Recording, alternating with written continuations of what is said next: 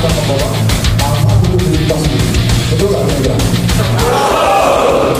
Jangan malas, jangan malas, jangan cuma kau main game di